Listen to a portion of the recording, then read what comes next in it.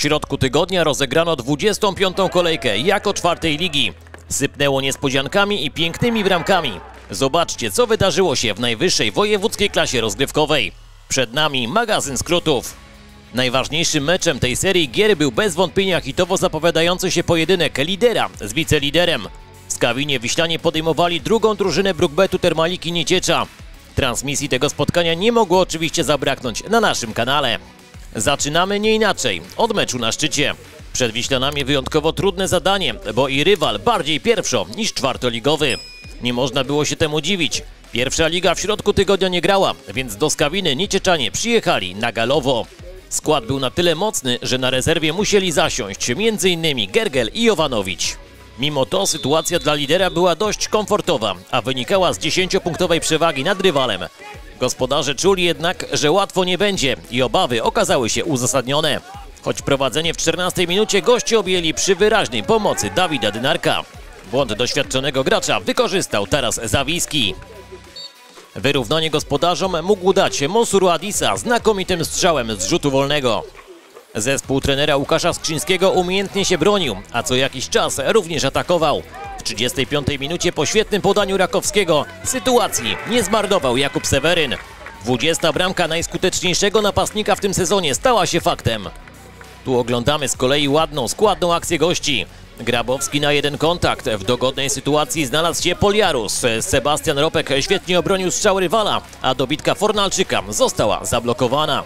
Groźnie pod bramką zrobiło się także wtedy, gdy Fornalczyk dośrodkowywał, a strzelał Kacper Śpiewak. Ale do przerwy wynik nie uległ zmianie. Druga połowa rozpoczęła się od świetnej szansy dla Niecieczan. Fornalczyk znakomicie przyjął piłkę. Teraz Zawiski w idealnej sytuacji trafił jednak w Sebastiana Robka. Poliarus uderzył z pierwszej piłki, ale na drodze stanął Dynarek. Rzut rożny dla gospodarzy. Dośrodkowaną piłkę zgrywał Nikodem Morawski. Kamil Gałka uderzył. Tyle, że zbyt słabo, by myśleć o strzeleniu bramki. W 68 minucie błysnął bardzo aktywny w tym spotkaniu Mariusz Fornalczyk. Jeszcze jesienią biegał po boiskach Ekstraklasy w barwach Pogoni Szczecin. Tu dobry występ okrasił asystą. Gładko ograny Morawski, a formalności dopełnił Artem Poliarus. Goście byli bardzo bliscy zmniejszenia straty punktowej do rywali, choć w końcówce mogli obawiać się o końcowy sukces. Dwie szanse miał Nikodem Morawski. Tu jeszcze uderzał niecelnie, ale naprawdę niebezpiecznie zrobiło się w trzeciej minucie doliczonego czasu, gdy Morawski uderzył bez przyjęcia. Piłka dwukrotnie skosłowała, ale Erik Topur zdołał to obronić. Kilkadziesiąt sekund później prowadzący te zawody Tomasz Musiał zakończył hitowe starcie, po którym przewaga Wiślan nad rezerwami Brookbetu Termaliki stopniała do 7 punktów. Goście jeszcze nie składają broni i walczą o awans do trzeciej ligi. Barciczanka podejmowała na swoim stadionie Beskid Andrychów. Gospodarze kilka dni temu po zaciętym meczu przegrali w Baniowach z Lubaniem 1 do 2. Goście do Barcic przyjechali wypoczęci, gdyż w miniony weekend pauzowali. Na czarno Beskid w strojach niebieskich Barciczanka. Z pozoru niegroźna sytuacja mogła przynieść gospodarzom rzut karny. Zawodnicy trenera dwojaka sygnalizowali zagranie piłki ręką przez Tatarczyka.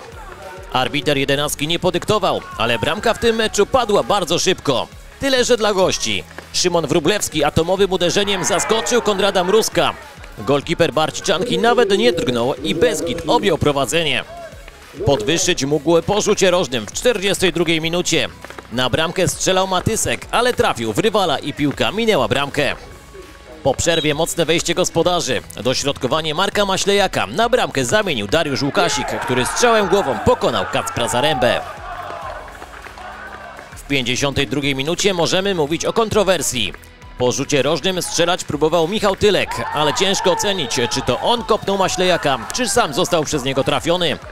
Beskid o dużym szczęściu mógł mówić po błędzie Kacpra Zaręby, który zagrał piłkę wprost pod nogi Maślejaka.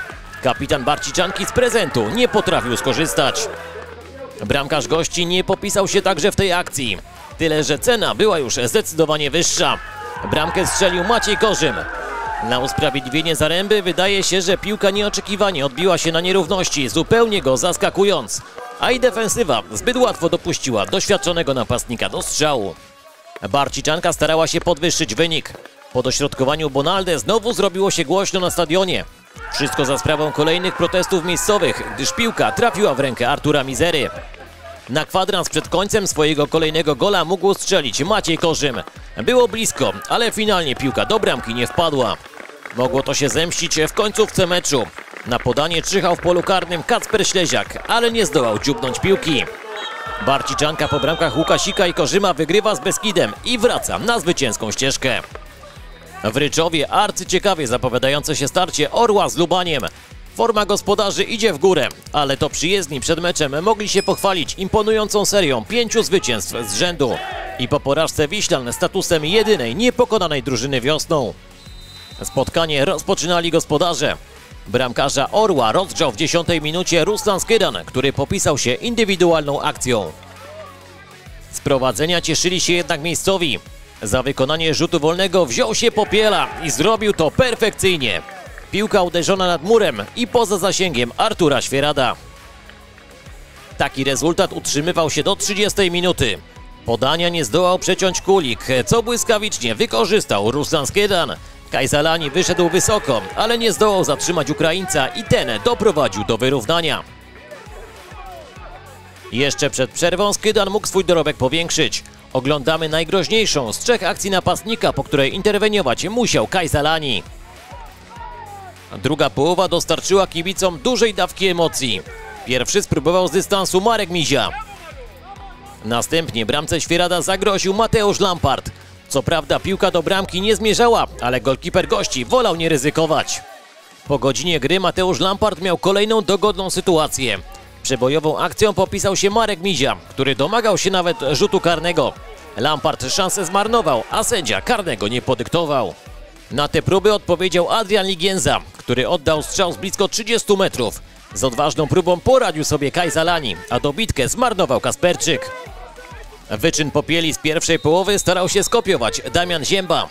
Do bramki wpadł jednak tylko Świerat, który piłkę zdołał sparować na poprzeczkę. Remis nie satysfakcjonował żadnej ze stron. W 82 minucie strzał oddał Czarniałski. Piłka trafiła Miłosza Wąchałę. Zdaniem gości prosto w rękę, ale karnego nie odwizdano. Kluczowym momentem tego spotkania sytuacja z końcówki, w której to czerwoną kartkę otrzymał Artur Świerat. Między słupkami musiał pojawić się Jakub Sikora. Młody bramkarz długo przygotowywał się do wejścia na murawę. Znacznie dłużej niż zdołał zachować czyste konto.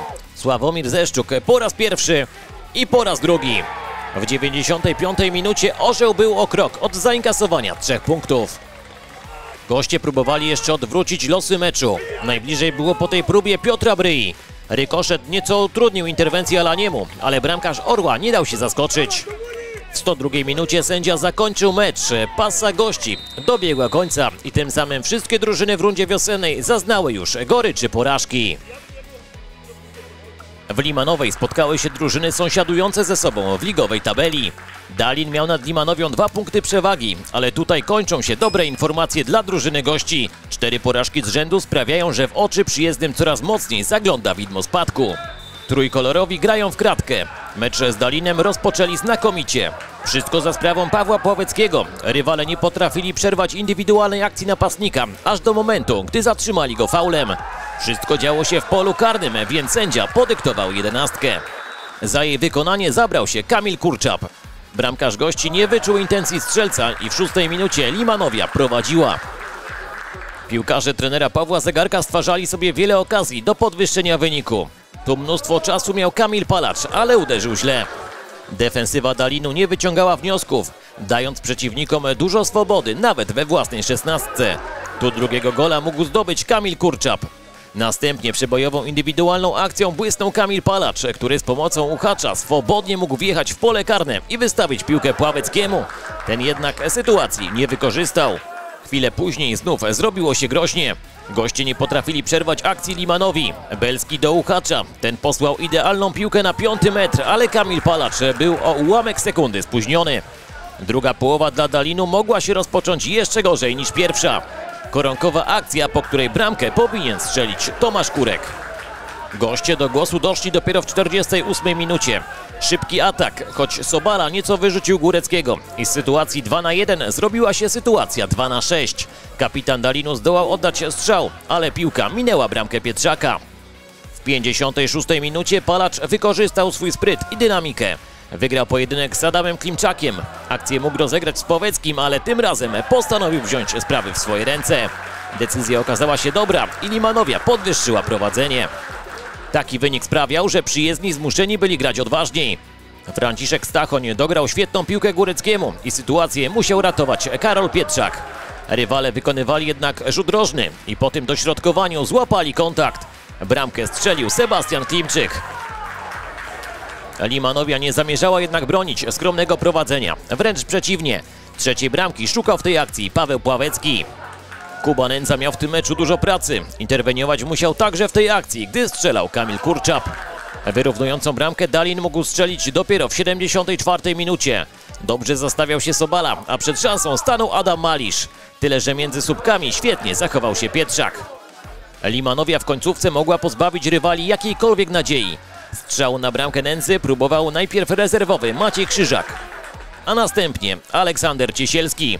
W obu przypadkach triumfował golkiper Dalinu.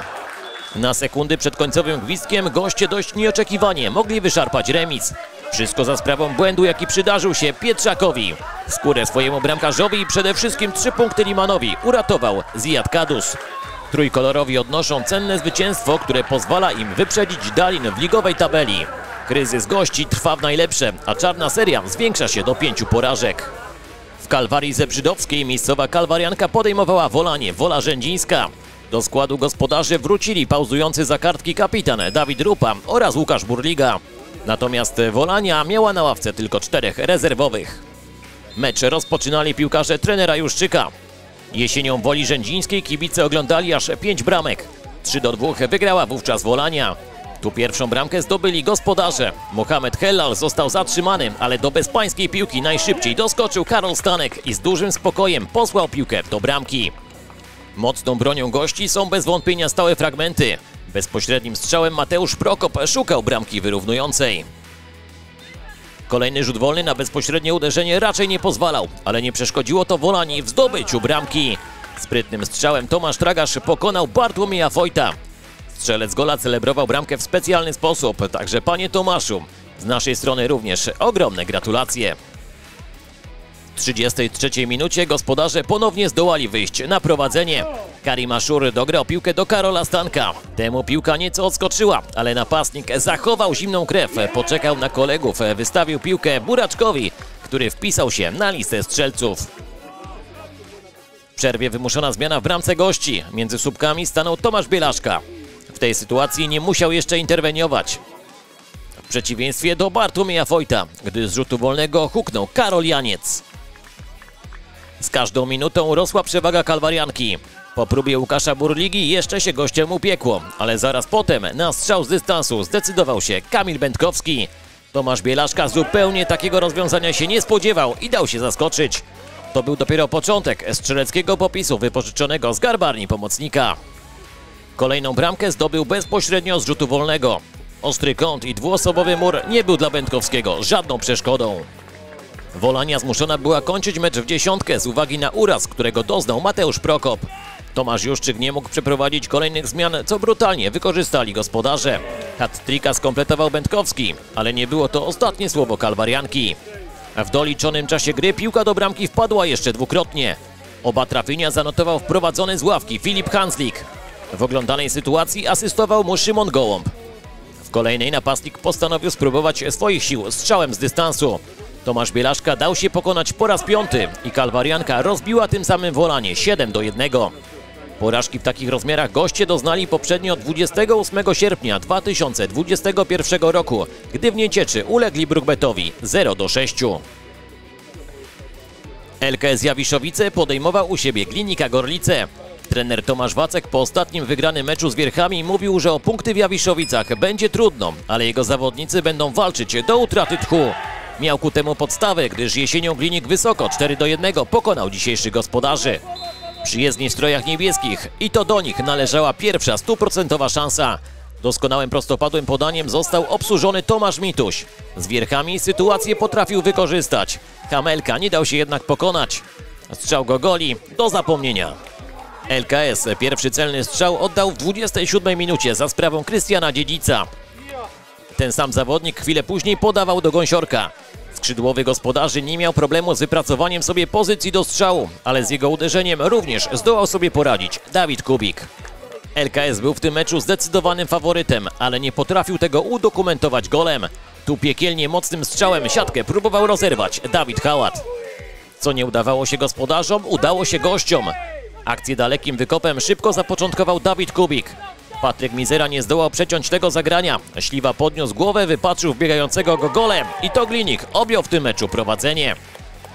Do przerwy powinno być jednak 1 do 1. Idealną okazję w samej końcówce zmarnował Sebastian Frączek.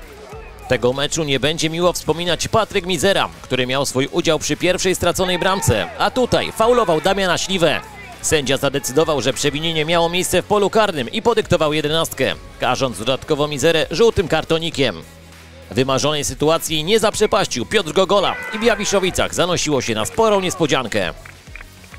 Sygnał do odrabiania strat mógł dać gospodarzom Dawid Hałat. Zabrakło dosłownie kilku centymetrów. Poprzeczka uratowała Glinika także w 75 minucie. O ogromnym szczęściu powinien mówić Martuszewski, bo to on wpakowałby piłkę do własnej bramki. Piłkarze trenera Płonki do końca próbowali odwrócić losy meczu, ale Kubik za każdym razem bezbłędnie wywiązywał się ze swoich obowiązków. Poradził sobie ze strzałem Karcza, jak i w doliczonym czasie gry Patryka Gibasa.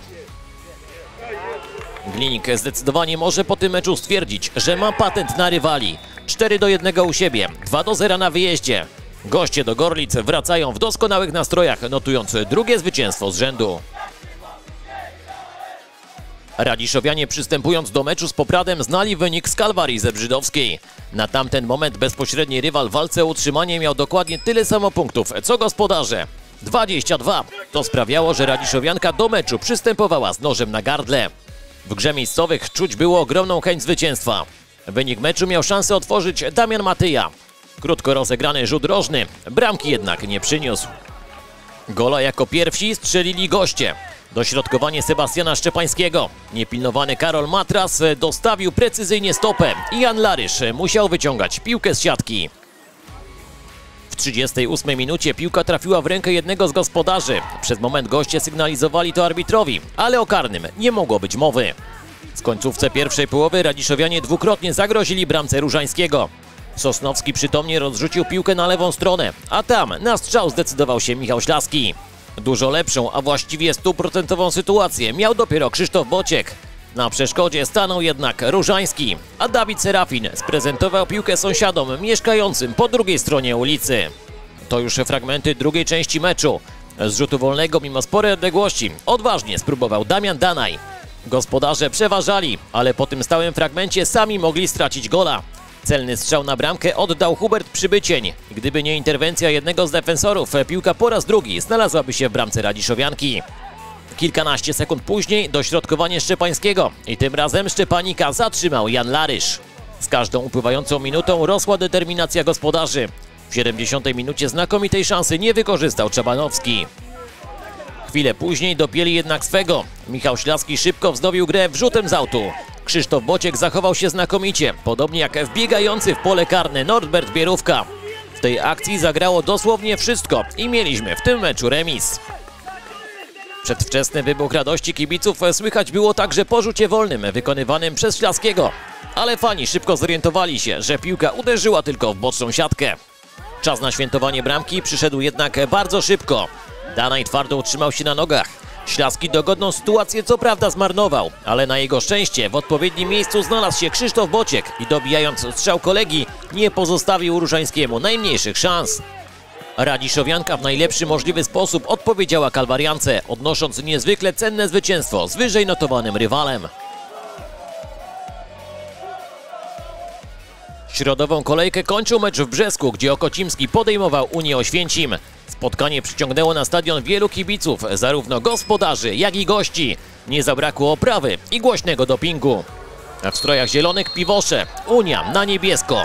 Groźną akcję goście stworzyli sobie po krótko rozegranym rzucie rożnym.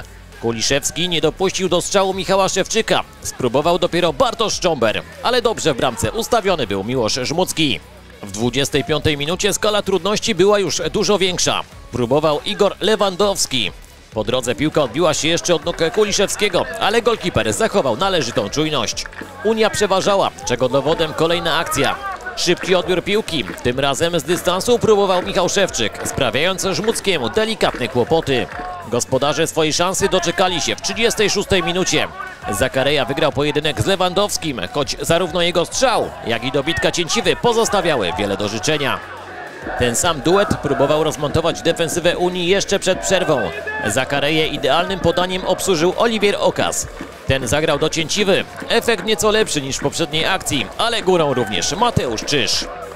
Pierwsza połowa została przedłużona o 6 minut. W tym czasie jedni i drudzy mieli swoje szanse. Zakareja z łatwością ograł Czarnika, ale zabrakło mu lepszego wykończenia. O tym elemencie nie zapomniał Michał Szewczyk, ale o ile piłkarz Unii zrobił wszystko tak jak należy, o tyle Miłosz Żmucki popisał się interwencją meczu. Do przerwy bezbramkowy remis. W drugiej połowie tempo meczu nieco siadło, co miało wpływ na nieco mniejszą ilość sytuacji bramkowych. Okocimskiemu prowadzenie mógł dać Kondrat Kuliszewski. To już z kolei 78 minuta. Zmiana za Igora Lewandowskiego była już przygotowana. Piłkarz Unii przed zejściem z murawy odegrał jednak kluczową rolę dla losów tego meczu. Znakomita akcja zakończona precyzyjnym uderzeniem i Lewandowski pod licznie wypełnionym sektorem kibiców gości celebrował swoją zdobycz. Piwosze mogli odpowiedzieć 5 minut później, gdy najbardziej doświadczony piłkarz Okocimskiego, Konrad Kuliszewski, dośrodkował piłkę Dawidowi Kurkowi. Ostatnie słowa należały do przyjezdnych. Pawela efektownie ograł Pitasia, ale uderzył już słabo. Podobnie zresztą jak Arkadiusz Czapla, który w doliczonym czasie gry mógł przypieczętować zwycięstwo w Brzesku. Cel udało się jednak zrealizować w 100% i trzy punkty pojechały do Oświęcimia. Piłkarze Okocimskiego oraz Unii po spotkaniu udały się pod sektory swoich kibiców, dziękując im za wsparcie. Szkoda, że takiej frekwencji, oprawy i dopingu nie ma na pozostałych spotkaniach. W 25. kolejce sypnęło niespodziankami. Wygrane Radiszowianki, Kalwarianki i Glinika z wyżej notowanymi rywalami dodają smaczku tym rozgrywkom. Szykuje się zacięta rywalizacja o utrzymanie w czwartej lidze. Po zwycięstwie rezerw Brookbetu Termaliki nad Wiślanami ciekawie również na szczycie tabeli. Przewaga lidera nad ekipą z Niecieczy wciąż jest duża i wynosi 7 punktów. Aczkolwiek nie jest to strata, której na przestrzeni 9 kolejek, które pozostały do rozegrania, nie można by nadrobić. Wszystko zależy jednak od postawy Wiślan, którzy wszystko wciąż mają we własnych rękach. Nie zapomnijcie o łapkach w górę i słyszymy się już w najbliższy wtorek o godzinie 19, by podsumować 26. kolejkę, która startuje już jutro. W niedzielę zapraszam na transmisję meczu z Myślenic, gdzie Dalin podejmie Okocimskiego. Za dziś dziękuję i do usłyszenia.